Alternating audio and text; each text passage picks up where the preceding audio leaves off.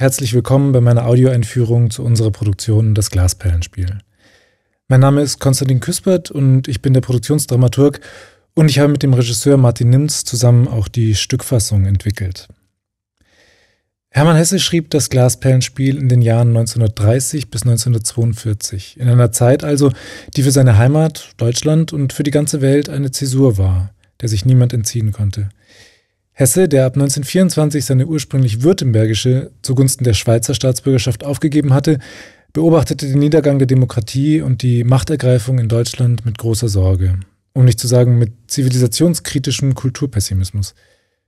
Er sagte, meine Freunde und Feinde wissen und tadeln es längst. Ich habe an vielen Dingen keine Freude und glaube an viele Dinge nicht, die der Stolz der heutigen Menschheit sind. Ich glaube nicht an die Technik, ich glaube nicht an die Idee des Fortschritts, ja nicht einmal an die Demokratie.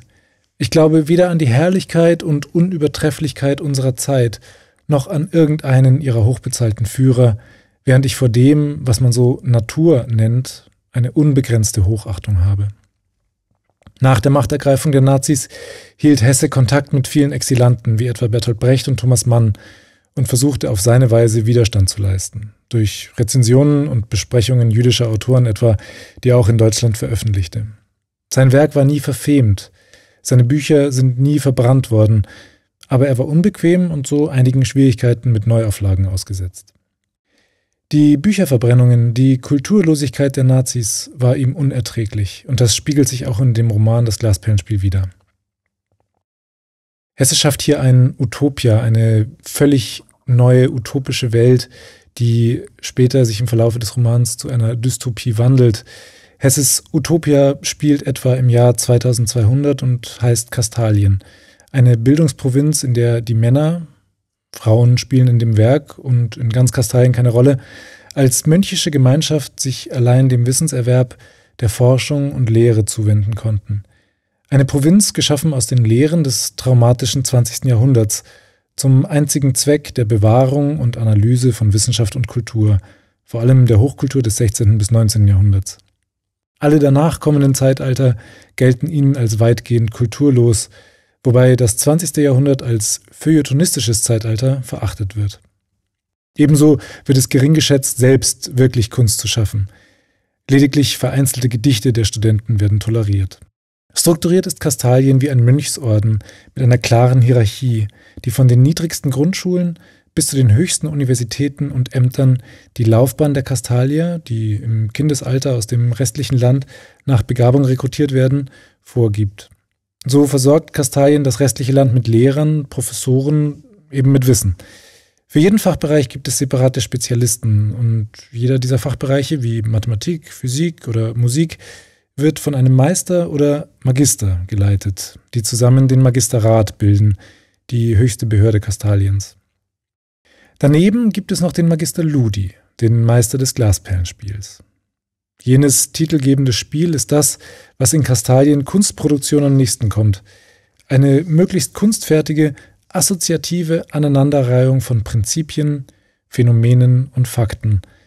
So wird etwa eine Sonate aus dem 18. Jahrhundert mit einem astronomischen Phänomen kombiniert, ein Prinzip der Madonnenmalerei der Renaissance mit einer mathematischen Formel und ein Strukturmerkmal gräko-römischer Säulen mit einem Ausspruch des Konfuzius. Notiert werden diese kunstfertigen Spiele längst nicht mehr mit den namensgebenden Glasperlen, sondern mit einem dafür entwickelten speziellen Zeichensystem, einer Universalsprache im Sinne Leibniz, die es ermöglicht, all diese Elemente zu kombinieren. Gleichzeitig ist das Glasperlenspiel, genauer gesagt das jährliche Festspiel, das Ludus Anniversarius, eine Hauptattraktion Kastaliens, wo sich dann die ganzen Würdenträger, Funktionäre, Politiker und Ehrengäste des gesamten Landes versammeln, als kulturelles Highlight, vielleicht vergleichbar mit Wagners Ring in Bayreuth, ähm, und das Glasperlenspiel sich anschauen und mit mehr oder weniger Interesse an dieser kulturellen Leistung teilnehmen. Im Roman erleben wir nun die Entwicklung des Knaben Josef Knecht von seiner Rekrutierung durch den Musikmeister durch die kastalischen Eliteschulen und das Studium, seine Begeisterung für das Glasperlenspiel, seine Zweifel an der Lebensweise, seine Freundschaft mit Plinio de Signori, einem Hospitanten, also nicht Kastalier, seine Berufung in das hohe Amt des Glasperlenspielmeisters und schließlich seine Amtsmüdigkeit und seinen Tod. Auf über 600 Seiten erzählt Hesse diese Lebensgeschichte mit einem Kniff. Er lässt sie von namenlos gebliebenen Historikern rekonstruieren. Das heißt auch im Untertitel Versuch einer Lebensbeschreibung des Magister Ludi Josef Knecht. Wir haben dieses strukturgebende Element aufgegriffen, indem wir eine Interviewebene eingezogen haben – Tito de Signori, der Sohn des Plinio, interviewt den Ordensvorstand Alexander einige Zeit nach Knechts Tod. Er versucht sich so diesem Phänomen Josef Knecht zu nähern. Diese Interviewebene durchschneidet immer wieder die Inszenierung und unterbricht den Fluss der Narration der Spielebene als Irritationsmoment, aber auch als Chance für Erklärungen und kurze Pausen. Da es sich um die Lebensgeschichte des Magister Ludi Josef Knecht handelt, umfasst die erzählte Zeit auch etwa 60 Jahre. Um diese große Distanz sinnvoll zu überbrücken, ist die Hauptfigur Knecht und sein Antagonist Plinio de Signori jeweils doppelt besetzt, mit jungen Schauspielern im Spielalter von etwa 10 bis 35 Jahren und älteren Schauspielern im Spielalter von etwa 35 bis 60. So stellen sich Jonathan Bruckmeier als der junge Josef Knecht und Maximilian Grünewald als der junge Plinio de Signori, beide neu im Ensemble, dem Karlsruher Publikum vor. Nach der Pause übernehmen dann die bekannten Gesichter André Wagner als Knecht bzw. Frank Wiegard als Designori die Figuren. Überhaupt ist das Ensemble bemerkenswert. Mit Hannes Fischer als Musikmeister kehrt ein beliebter und bekannter Schauspieler auf die Karlsruher Bühne zurück und auch mit Bertolt Tötzke als Alexander erleben sie einen erfahrenen und charismatischen Bühnenkünstler, der die Rolle mit Tiefgang und Empathie füllt. Tito De Signori, sein Interviewpartner, gibt Veronika Bachfischer, die, ebenso wie ihr Kollege Ralf Wegner als Tegularius, aus dem Ensemble des Jungen Staatstheaters in den sogenannten Abendspielplan wechselt. Der aus Film und Fernsehen bekannte Thomas Meinhardt spielt den Benediktinerpater Jakobus, einen weiteren wichtigen Lehrer und Gesprächspartner Knechts. Gunnar Schmidt und Ronald Funke spielen zwei Ordensfunktionäre und Ute Baggeröhr gibt die einzige weibliche Figur des Romans, die Frau de Signori. Der ebenfalls neue Luis Quintana schließlich spielt den Atlatus des Musikmeisters, den Petrus aus Monteport.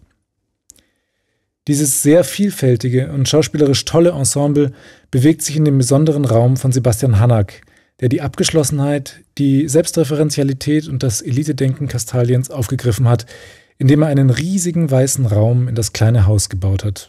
Der Grund, warum wir das Glasperlenspiel nur im Block spielen können. Auf- und Abbau dauert mehrere Tage, ist also mit dem normalen Repertoirebetrieb unvereinbar. Ein riesiger, gebrochener weißer Trichter, der Schauspieler und Zuschauer gleichermaßen umschließt. Ergänzt und erweitert wird der Raum von spektakulären 360-Grad-Videoprojektionen von Thorsten Hallscheid, realisiert in Kooperation mit dem ZKM Karlsruhe. Deren Arbeitskraft, Know-how, Technologie und Material schaffen ein so am Staatstheater noch nie dagewesenes Videoerlebnis, das die Grenzen des Raumes sprengt. Ein letzter Hinweis, es gibt freie Platzwahl. Sie können sich auf eine von drei Stufen setzen. Wenn Sie sich gern anlehnen, nehmen Sie bitte oben Platz. Wenn Sie schwindelfrei sind und gern in der Nähe der Handlung sitzen, bitte auf der untersten Stufe. Und wenn Sie sich gern etwas geschützter fühlen in der Gruppe, wählen Sie bitte die mittlere Stufe.